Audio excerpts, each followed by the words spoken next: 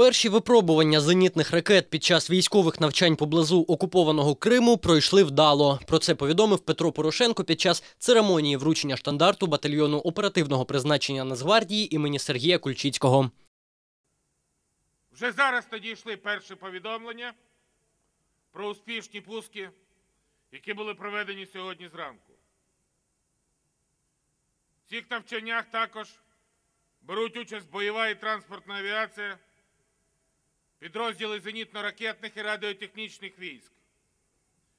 Хочу наголосити, що пуски відбуваються у повітряному просторі України над відкритим морем в повній відповідності до міжнародного права. За словами президента, Україна вимушена проводити навчання саме через російську агресію. Мовляв, через східного сусіда українська армія постійно має бути в стані повної бойової готовності на випадок повномасштабного військового вторгнення. Про успішний старт навчань повідомили і в РНБО.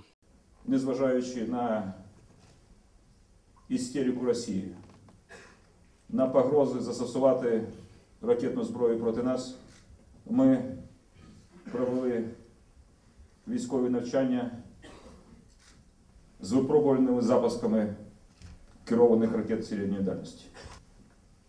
Ракети потрапили в заплановані цілі. Військове керівництво України підтверджує, попри російські погрози щодо ракетних пострілів у відповідь, навчання підрозділів повітряних сил ЗСУ відбуватимуться згідно з раніше узгодженим планом два дні.